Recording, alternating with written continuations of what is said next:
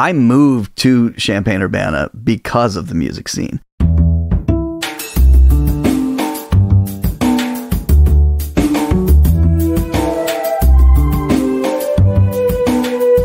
This is Champaign is also a band podcast. One songwriter, one song. I'm Sven, your host for a journey into the music of Champaign Urbana. Recorded in the Blue Box studio with a songwriter from the Champaign Urbana music scene, past or present. Champaign is also a band podcast is proud to be a part of the Champagne Showers Podcast Network.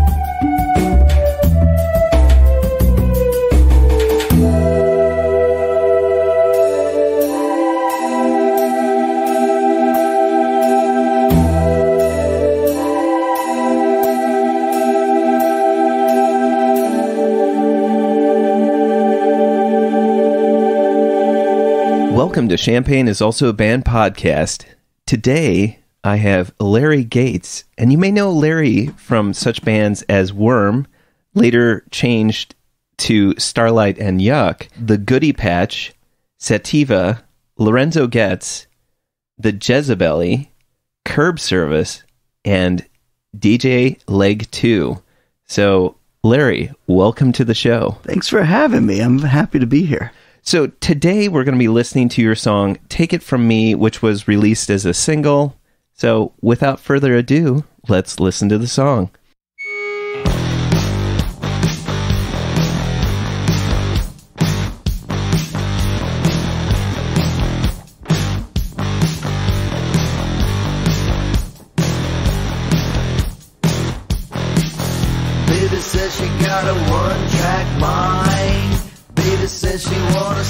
About it, see about it. Got a life that's mine, and don't you take it from me, don't you take it from me. Everybody wanna get back mine. Everybody wanna hear about it, hear about it. Oh, but this one's mine, so don't you take it from me,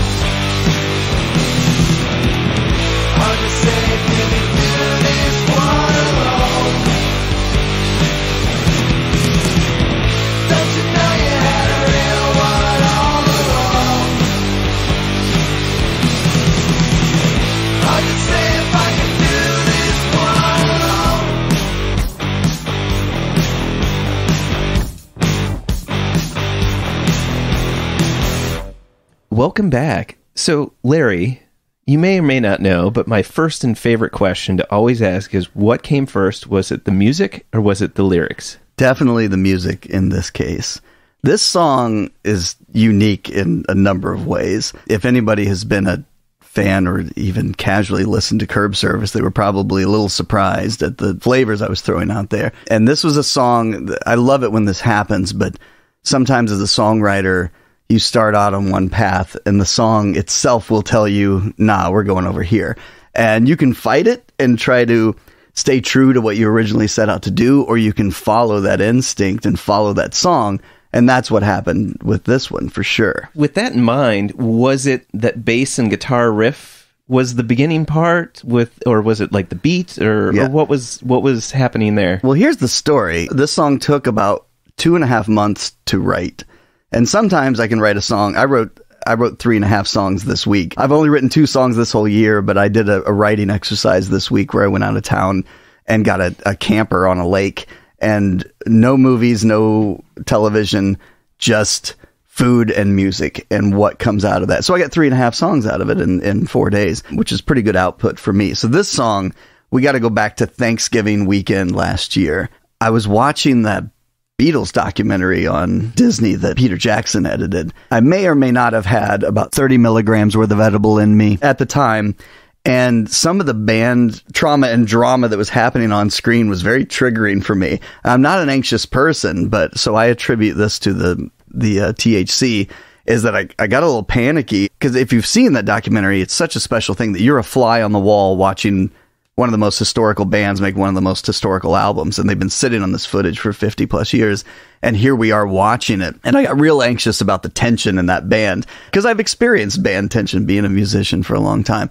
So i had to take a break from watching it and i went up in my guest room and i, I grabbed the guitar and that riff just i mean within 10 minutes the song was structured I had it immediately. It poured out of me. And so what I do these days, so my studio is separate from my house. So rather than go out and boot up the studio, I just grab my phone, hit voice memo and got the riff down. Okay. So it's safekeeping. I've become smart about that because there are so many riffs I've lost, you know, to the ether if I don't document it. So I put down the structure and then a few weeks later, I made a proper instrumental demo and sent it to Anthony Gravino and Ian Shepard, who play with me in, in Curb Service when we're a, a live band configuration. Probably mid December, about two or three weeks later, we went into Anthony's studio, uh, High Cross Sound in unincorporated North Urbana, Illinois, and we just tracked the instrumental. And in my head, as I'm putting this tune together, I wanted it to sound like you know um, Scott Pilgrim versus the World, the Yeah. graphic novel and um, flawless movie. You know, he's in a band called Sex Bomb, which is kind of like an amped up beauty shop, is what they sounded like, right? Oh, yeah, This yeah. sort of this anti folk punky thing. That's what was in my head when I was writing the song. And so I, when I tracked it, I was on acoustic. I was in the control room on acoustic. Anthony was on bass. Ian's in the live room on drums. And my note for Ian, Ian is such a precision player and, and has such good feel, but I wanted him a little off the leash.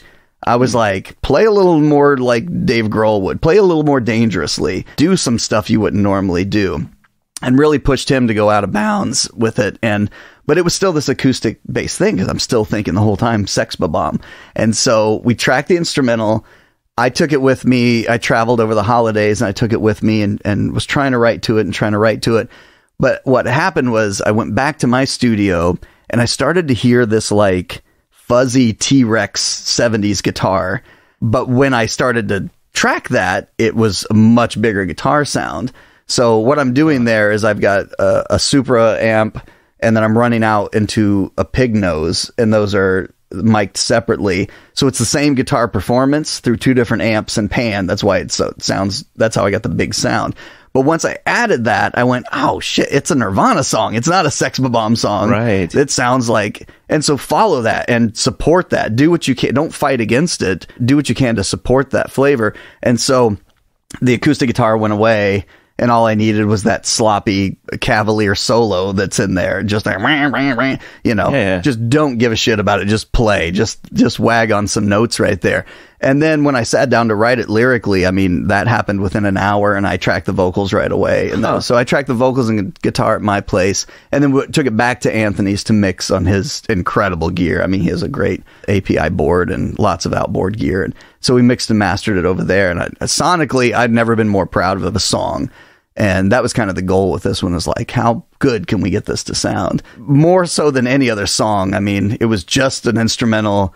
I thought it was going to be one thing. It turned out to be another, and we completely chased it down that rabbit hole. I've gotten a lot of great feedback on the song. A lot of people Yeah. gravitated towards it. So, as left field as it is, I've kind of embraced that. I was telling a friend yesterday that, like, Beastie Boys are my idols for a number of reasons, but the main reason is they didn't adhere to any rules right? There's hip hop and there's punk and there's a country song and there's weird instrumental jammy stuff and it was just all output. We're just Right. creating, right? And they were always just the coolest to do it. I've taken off the shackles of genres and expectations and go, whatever song I feel like writing that day is is my prerogative. You know, there are no rules in art. Just make something. Let's talk about that timeline. So it was Thanksgiving mm-hmm. 2021. Yeah. And then how long was it before you added the lyrics? It was probably early January. Yeah. So it, was, it was nearly, yeah, just shy of two months in. Okay. And I, I was just beating around that instrumental. And it, when I write a song, at least, you just kind of hum. It was also rewarding to watch in, in the Beatles doc, watching them work on songs and, and seeing them do the same damn thing that I do, which is you just kind of hum until a phrase or a, syl- uh something syllabically clicks, you know, or a word that becomes a stake in the ground. And now we circle that stake and now that becomes this thing, you know, just kind of fumble through it. You know, once that started, I mean, like it happened within a few hours, uh, lyrically, it just came out. You're searching for the syllabic or or a phrase that kicks in there. What was that syllabic phrase that kicked in? it wasn't the phrase in this particular instance. Two things. How those verses are structured to repeat the last line after each line. The take it from me was probably the thing that came first. And the double meaning there, which is hmm. take my advice. No, take it from me. I know what I'm doing, right? Or physically taking something, robbing me of hmm. something, right? And sometimes I use them back to back in a line. You know, take it from me, you won't take it from me. You know, that was probably the stake in the ground. I did not intentionally sit down to write about my relationship split, but it's one of those things that if you open yourself up and you're being honest in the moment, that that sort of thing is probably going to come out. So after the fact, I realized, oh yeah, I just wrote this autobiographically. I did not intend to, but it, it, it was inevitable. That's interesting because I was going to pose a fan theory, so to speak, of what this was this song was about. I had this weird feeling that yes, it was about a relationship, but then I also was thinking about how this is about music and a band or or working with another person. And the fact that you said that that came out of watching the Beatles documentary and the conflict or even just the method in which they work on mm-hmm. things. There's a few things like everybody want to get back line. Mm-hmm. And I was thinking about like on stage, you know, the backlined in- instruments. So I was like maybe? So what that what that line means to me what my intent was is when you're in a somewhat high profile relationship in a small town and then that relationship ends everybody wants to know what happened. Ah. And everybody wants to know if things are cool or if there's some pettiness and and people are getting back at one another right? Which was ah. not the case. Parallel to that the Beatles documentary is called Get Back. And so ah. subconsciously, I think that landed in there, but that was not intentional. But that's what the Get Back line is. she got a one track mind Mm-hmm. and i was just thinking of if you were to record a demo you would be recording like one track right, Right. it'd be like you, it- like as on your phone Right. i had this thought of the first double verse Mm-hmm. is a music but kind of starting up you know this idea of i have a passion about music but i don't know what that's going to entail that first verse was like I don't know what this is going to entail. The second verse, I was thinking about you're into the music, Mm-hmm. right? Like you're in it, always like the encore, like being called back because you're quote unquote famous, so to speak. Right. Like that's the idea. Like, baby, say it with me one last time. Um, you know, like everybody's like, oh, play one more, one more song, one last time. I'm just running with I this love, theory. I love your Um, theory. the third verse, I think of it as like this future self, like if you're going to be like washed up or like what do you have to do to get back to it you know like someday i'm going to get that shine Yeah. like you're going to get that shine back or Right. whatever not not to say that it's easy to say like oh every song is about a relationship but it could have been your relationship to music too right Yeah. so I yeah. love that you're peeling back the layer there because there probably is some subconscious, just seeing the few things that are parallel to the, the Beatles doc or band trauma and all of those things. I'm a little like shocked about that because it sounds like it was not in your forebrain. It was maybe floating around the back, but it was born out of that tension. Yeah. Interesting. So, how did this song uh, start to form a an idea where you you knew what that that line was take it from me Mm-hmm. but when did you say this is the theme that i'm going to go with like how did you does, did that question make no, sense But, yeah. absolutely. When that first line came, you know, when the the baby says she got a one track mind, so that's when it became a relationship song. And like I said, not even trying to be autobiographical, but it happened anyway. So then the take it from me comes about.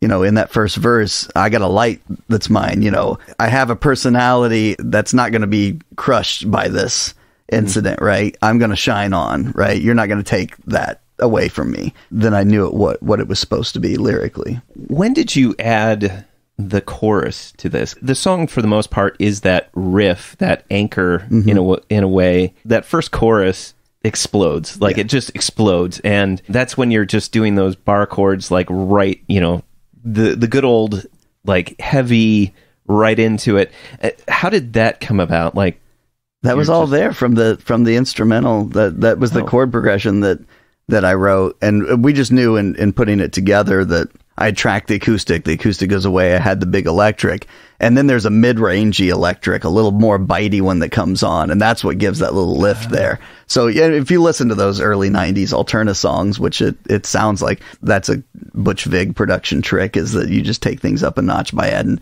adding a little more of a, hmm. a bitey element in there. But yeah, that was there all along musically. The drums were played by Ian Shepard. Yes. there is a bass in there, right? That's doubling. Anthony. to- yeah, Anthony, the Gravino's playing bass. Oh, yeah, okay. and so he he and I are basically playing the same thing. Just tried to make it tight. You know, it's a little overdriven too. You know, it's Yeah. got some it's got some bite to it as well. I feel like there's this this weird quality about the way that you did this that and, and not weird, but it's a different quality that you did where you had the whole format out before there were words, which maybe in my limited experience as a songwriter, I feel like that's almost dangerous or limiting, but it, it works for you because you know you don't know where the le- words are going to end up. Right, right. It, it seems that this instrumental highly influenced what you were going to end up putting in and and laying it out Definitely. based on yeah And the and the band was really curious about that too because we had this bridge part and rocked it out. You know, they weren't sure what it was going to be, and then once the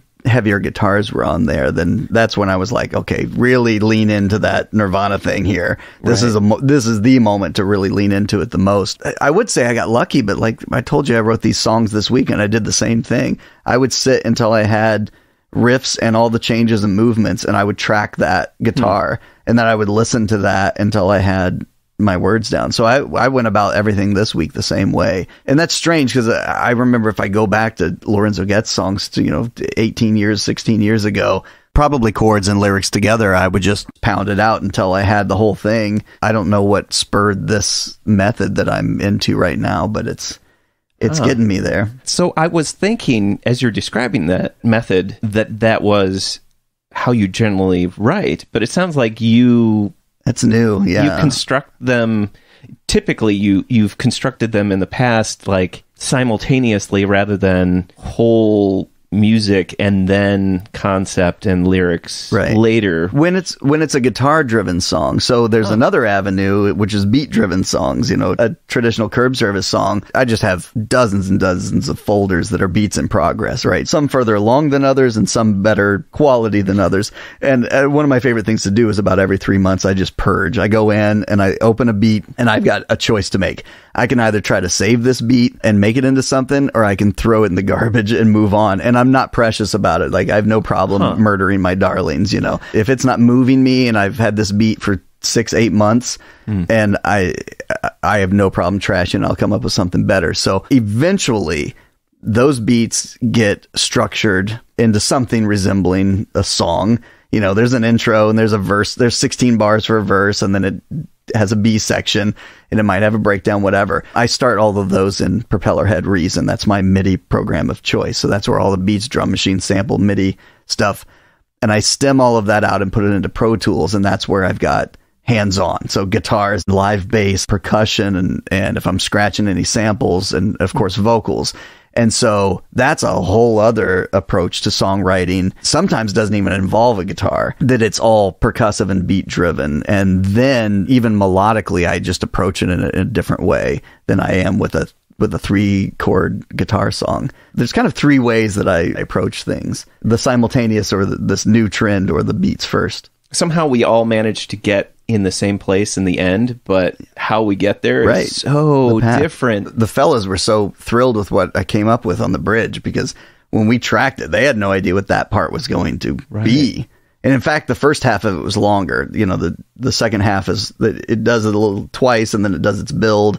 That was twice as long, and so we shortened it and just just made it a little snappier. And you know, that phrase came to me and and dealing with the whole thing, whether it's a band or a relationship. You know, you got to hit the bottom before you can come back up. You know.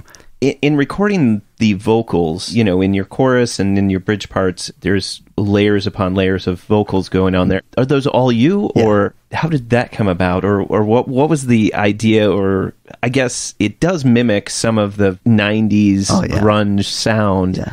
I've been double tracking vocals for a long time. The, the same reason that Wayne Coyne from the Flaming Lips and John Lennon is we're all guys who hate our voices if they're naked and exposed. And I've always just loved that effect. I mean, from there were records I listened to as a child that I was so drawn to certain moments and didn't know why. Hmm. You know, the slapback delay on Billy Joel's What's the matter with the car? Yeah, the still rock and roll to me. I uh-huh. just knew I loved I didn't know what it was or what they were doing, or John Lennon double tracking, or the sound of Brian May's guitar tone and We Will Rock You is like the coolest sounding guitar. So so I was always drawn to these things and double tracking became one of them. And so I did it some in the Lorenzo Goetz days, but I do it constantly in curb service. And it's just, a, even the demos that I, the songs I wrote this week, I double tracked everything just for the demo. And the the reason I do it for a demo is I don't want to be distracted at how shitty I sang it. And when there's two of me, one covers the other's mistakes a little Right. bit. And so I could just focus on the lyrics and the melody and what it really is without getting. So I double tracked the the verses, but I think there's three of me, if not four of me. I think there's three of me on the on the chorus. So you hmm. do the Beyonce thing, which is there's a Larry left and right, and then there's one in the middle, and it's just a wall of of vocals coming at you, and just try to make it big. I usually like to mention what my favorite part of the song is, and I love how the song is very singable. Like you could sing along, like any person could sing along with this, and it's not not saying like that that the vocals are too simple, but I think that they're just very. There's a certain like visceral quality to them, like something that it sticks with you and it holds in your head. I'm gonna have to say that that's probably my favorite part is that it sticks in your mind, and I could I could totally see you playing this on stage and having front row singing it back at you while you're singing it. Yeah, I, I don't know what it is. Like it just if I knew what that was, I would totally bottle that because it's there's something about that. Like if you can do that, you've got something. So I, I just I, just thought I'd say it. that. Yeah. Well, mission accomplished because I, I've really been trying to focus on the earworms and try to make a simple song as catchy as possible. I've been playing these acoustic shows where I have a, a silly interactive game with the crowd. It's called Three Song Monty. I let people pick cards and they have categories or artists on them. And when they pick a category or an artist, I will play three songs from that category. So if they pick a card that says Motown, here are three Motown songs. Here are three Prince songs. I'm choosing from hundreds of songs that I've built up over the years, and especially during the pandemic when I was doing live streams. There's two things that all the songs have in common is one, they're all songs I love because I won't play songs that I don't love. The other thing is that they are simple songs. During the pandemic, I was doing a live stream every week and I'm learning nine to 12 songs every week to play for my friends online. They couldn't all be Bohemian Rhapsody, you know? Right. They had to be simple songs. And so I've really been trying to boil things down to keep it simple, keep it catchy as you can, but still being honest. And so uh, everything that I've written this year, I think, falls in that category. So by design, it's an earworm because I want it to be. Sometimes it comes easier than other times. and now I have to ask you, what is your favorite part of the song?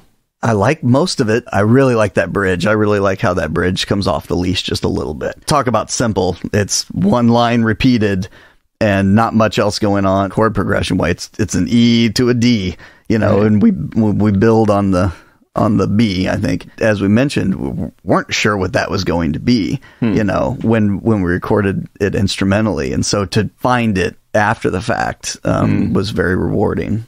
Why was this the song that you chose to talk about today? because it was so left field, because it was not a traditional curb service song or Larry Gates song, if I'm going that far, and how proud we were of it sonically. When you write songs for so many years and write hundreds of songs and record albums on various budgets over a timeline of varying experience and resources, and then you can come across that oh, we wrote a good song and we played it really well and it sounds great. You know, it's mixed well. Very proud of that one. And then, like I said, it is set off. I wrote that one and I, I, I wrote another song a few months ago and then three this week and, and, and all been focused on, like I said, a simple song, an earworm.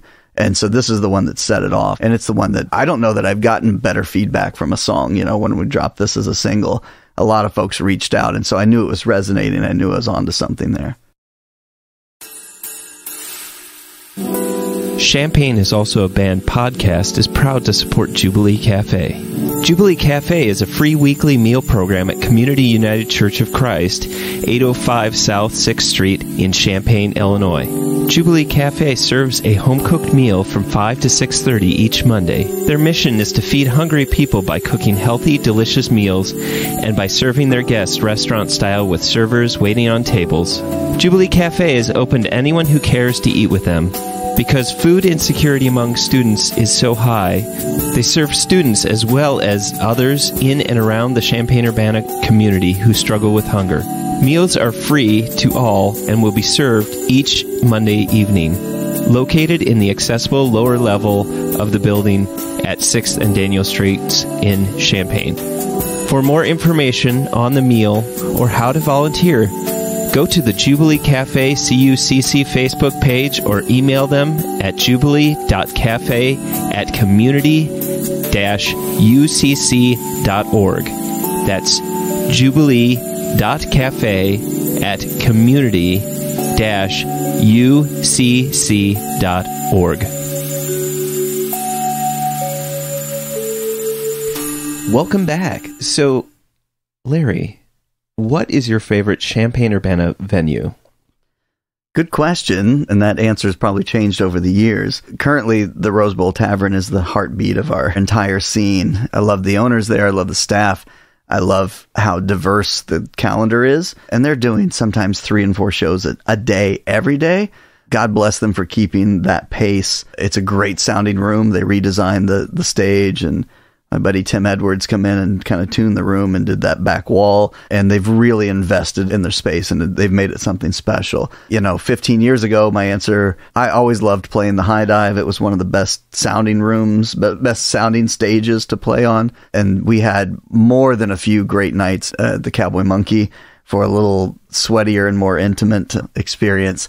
And so we've been blessed to have, you know, stages to play on over the years but there's the ebbs and flows and the changes, and, uh, and here we are. So Rose Bowl gets my vote. It's interesting what has come out of the pandemic and those that were willing to, you know, pivot and make choices about how they were going to proceed. The ability for the Rose Bowl to be able to have outdoor shows, to kind of bring it all back. It was one of those things where it had been so long since I'd been at a live show that it was like, oh, please, please let's let's do this let's see it as someone who's been around in the champaign urbana music scene for a while i'm just kind of curious here's my left field here you're going to follow how has the champaign urbana music scene changed in the time that you've been here God, ask me how it has not changed. I mean, you know, so you've been in bands. Bands don't always, unless you're Aerosmith or or up until recently the Rolling Stones, you know, bands break up. Somebody or a, a few somebodies has an artistic idea and you get together and you write some songs and you rehearse to varying degrees of perfection and you book a show and you tell your friends and that happens. And so Champaign has the history there. You know, we've been fortunate enough to have these giants to stand on top of o- over the years. You've got this transient student population that also feeds it, you know, student bands or people who went to school and stick around. I moved to Champaign Urbana because of the music scene. Mm. I would come there and watch bands. At that time, in the 90s, there was a, a great venue on Green Street called Mabel's that was upstairs. It became a bro bar called Brothers, which I don't even think is open anymore, but a great second story rock and roll club.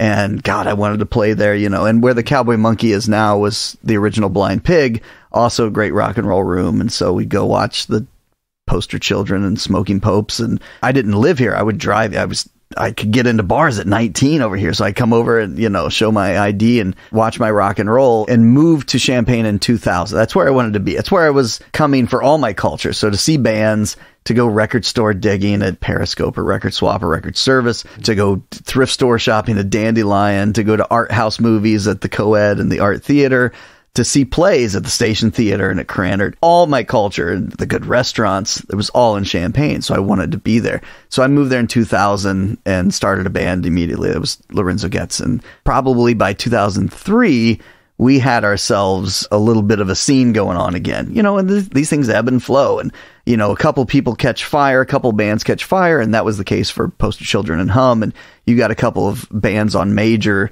labels and getting some international accolades and that helps bolster a scene a little bit. But then you know things recede and by 2003 4 and 5 you know we had the beauty shop and the and the living blue and headlights temple of lowman and you could go out multiple times a week to different venues and see some really good bands. As we've established bands break up and things happen. And so the face of it changes and a few people continue on. You know i like to think of elsinore as one of those bands that came in during that hot time when a lot of the other bands broke up, they they were able to continue into the next era of gra- uh, grandkids and, and some other bands that were popular along those lines.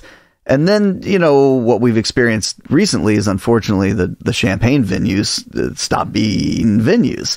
And so now it's really hard to play outside of summer street fest type things and a few beer gardens. It's really hard to play in downtown Champaign. I think that's unfortunate. I think that when you just have bars and restaurants and not a lot of live music, that you're cheating yourself out of the potential culture there. So Urbana is the shining light. Nola's as a stage inside and, and a patio out back. Rose Bowl's killing it. There's the Sip Yard, which sometimes has music. The IMC, a little harder to book, but still there's a stage available there. And so I'm, I'm hope, uh, hoping for more growth in Urbana. Doesn't mean there's fewer bands. It just means there's more competition to get those stages, you know. You also have to look at, you know, there was a time when there were only a handful of visible hip hop artists in Champaign Urbana, you know, and I worked with Crooked a lot. I don't know if you were hip to him in, in the mid aughts from Uganda, East Africa. He was here. But now you've got a lot more people making noise on the hip hop level. And the canopy has been very welcoming for those artists as well. And, and that front room has served them.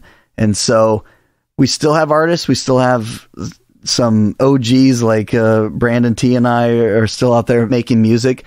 And you have to, we were talking about the Rose Bowl and, and pandemic, you have to adapt. They were smart enough to adapt and go, well, we're going to stream some live music and we're going to have a convenience store. They had a convenience store open. I would ride my scooter down there and buy uh, CBD elixirs that they got from Marz Brewing uh, just as a way to support them. But they were smart enough to adapt, and we as artists have to do the same thing. I played at Urbana House Party Friday night. I hadn't done that in years, but there were 30 people in a living room dancing their butts off all night, and it was fantastic. You know, so you've got to think outside of the box sometimes, and you got to drive to Sadorus and play in, in somebody's yard too. And that keeps your scene alive because that keeps your music community intact. We can all be so segregated in our little creative spaces, but getting us in the same room is helpful. And I've always thought that Champaign had such a tight knit community and there wasn't anything more than a little bit of healthy competition. Like there's nobody's trying to cut anybody down and Champaign does a great job of helping each other up to the next level or the next thing and supporting our artists. But I would love to see downtown Champaign get with the program again and reinvest in their artistic community. Yeah. Here's the big question that I've been asking, you know, since since the pandemic is what do you think makes a good music scene? Well, you need folks to show up. One of the things that made that scene work in 2003, 4, 5, and 6 was the bands were supporting each other first and foremost. So if I had the night off, if I wasn't playing or rehearsing or recording, I'd go watch the Living Blue because they're just down the street, you know. And once you get six or eight bands in the room, now we've got a crowd. And then you've got those people who just love music and want to support it. But without a crowd, you're just a, a knucklehead up there making noise, right? That's what I said at that Urbana house party is folks were appreciative of it. And I said, well, you know, thank you for showing up and dancing because otherwise it'd just be weird, you know.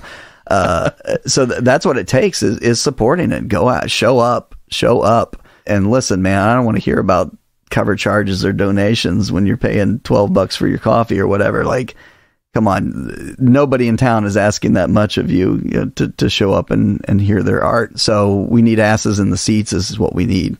To me, that starts with the artist. Go out and support your friends. One of the things that I'd like to see more of, and, and maybe I'll just cut this out, but is I'd love to see more all ages venues mm-hmm. where people can not just know the big name bands that came from here, but more of like the bands that are just starting up or, or that they were just like, hey, I just happened to be over at the IMC and guess what? I saw this new band that I hadn't heard of them, but they were there and it was amazing. And because I feel like we're missing out on this opportunity of being able to inspire one another, right? Mm-hmm. Like, oh, I didn't realize that music could be, you know, like I never thought somebody could articulate music that way. I think we could certainly use more all ages venues or more all ages opportunities. Absolutely. I wish the IMC was was a little more active. And, and I don't know what that takes. Maybe that just takes someone to drive that bus and or maybe they have to make booking there a little easier. But I want to normalize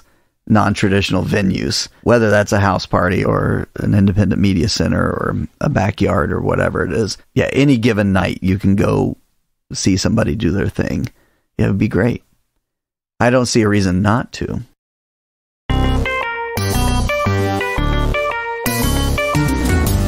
Champaign is also a band podcast is proud to support Exile on Main Street. Exile on Main Street, located in the old train station building at 100 North Chestnut Street in downtown Champaign, has been helping to build record collections since 2004. Carrying a wide array of new and used LPs, CDs, and video games. Exile on Main Street has something for just about any music enthusiast and old school gaming devotee.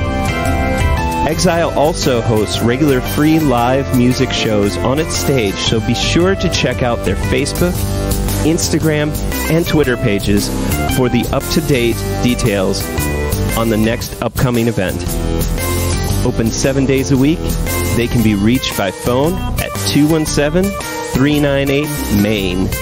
That's 217 398 6246. Welcome back. So, Larry, what is your favorite non musical thing or things? This is a tough question, but I think the answer is college basketball. I'm a big college basketball fan, and more specifically, a big University of Illinois college basketball fan, and have been for years. I played, despite my vertical limitations, I played in, in high school and a year in, in college and coached over the years. And I, I grew up in Indiana, and so, you know, basketball is kind of king in Indiana, and and we watched Bob Knight coach at Indiana University and Gene Keady coach at Purdue University. And I remember in the late 80s seeing the Flying Illini play. And I, I would often watch Big Ten games, so I knew all of those schools, but that team was so special and so explosive and dynamic and such great characters on that team. And I've been watching Illinois basketball ever since. And it's just gotten better and better, you know, and move here and be able to go. And now I have season tickets. And the trend that they're on right now in the last uh, four years and, and the, the squad that's coming together this year, holy cow, I'm so excited for. March Madness is my absolute favorite time of the year. That's Christmas for me. I will watch way too many basketball games and in a condensed time. I even went to the Big Ten tournament this year and I, I watched 10 games in three days of just slumped in my seat watching team after team. I just love the sport. I love how beautiful it can be when played well at, at a high level. That is by far what gets me through most Midwestern winters is uh, looking forward to a couple of ball games a week. Yeah. Yeah, I have to say it is very fortunate that basketball is a winter sport, like that it, that it happens at that time. Are are you more of a? I mean, maybe this is not a great question, but are you you're more of a fan of going to see a live game or watching it at home on on the TV, or it doesn't matter? It does not matter. Uh, It's different, and sometimes I like the convenience of of being home. But the energy in those places, you know, State Farm Center, when you've got fifteen thousand people rocking, it gets so loud in there, and and that can impact a game. As a as a former player and, and coach and spectator, you see the the momentum shifts over the course of a forty minute game And that crowd has so much to do with that, you know. Two or three things go right and and the opponents have to take a timeout because the energy is just uh, it's all one-sided. And so that's what I do like about the live experience. I'm not a fan of basketball fans, if I can say that. I don't. That's that's not basketball specific. That is sports fans. I, I don't. The worst thing about sporting events to me are sports fans. So I'm not the loud, obnoxious person who's yelling at the refs from the cheap seats, even though they can't hear me. But I have to sit next to those assholes. You know, it really, it really breaks my heart that we can't all just have fun. But yeah, you're kind of surrounded by different versions of the same person, especially at the tournament. uh, Is what I realized is when you're at the Big Ten tournament, it's only the most rabid fans from each school are there and they're all the same. You know they're they're decked out in their gear and they're all obnoxious and entitled and and loud and drunk and you know just all the things i don't want to spend my day around. Easily the worst part. That, that that's the trade-off though is the the energy can be incredible you know and you happen to be there for one of these legendary games in a last minute shot or you know when they got to share of the big ten title and beat iowa this year. I mean it was an incredible thing to witness. But you know when march madness happens i have no problem being on the couch and watching six games in a row Right. Well, Larry, thank you for being on the show and telling me all about your song, Take It From Me, talking about the scene a little bit and your favorite non musical things. So thank you so much for being on the show. I'm honored to be here and I love what you do. Without folks like you who actually care, the scene's weaker without somebody. So I, I think I said this earlier before we were recording, but I'm so glad that you have all those anniversaries pop up on your feed so that I can pay attention even more to the local scene. So don't ever discount your place in all of this, that you're an important factor in, in the scene that we do have. And I appreciate it so much.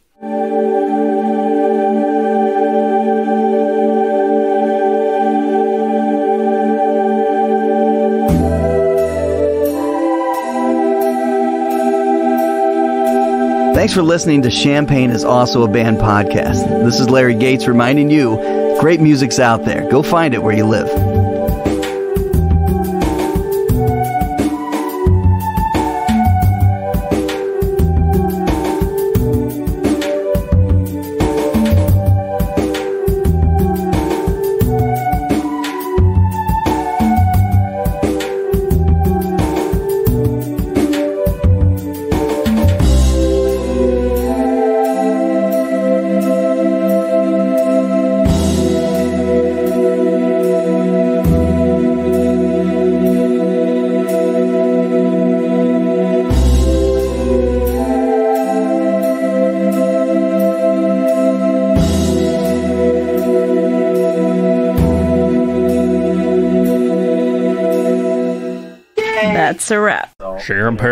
Is also a band.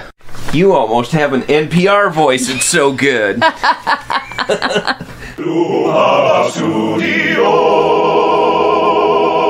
South Peter on the inside. And all I needed was that sloppy Cavalier solo that's in there. Just like, "Rah, rah, rah."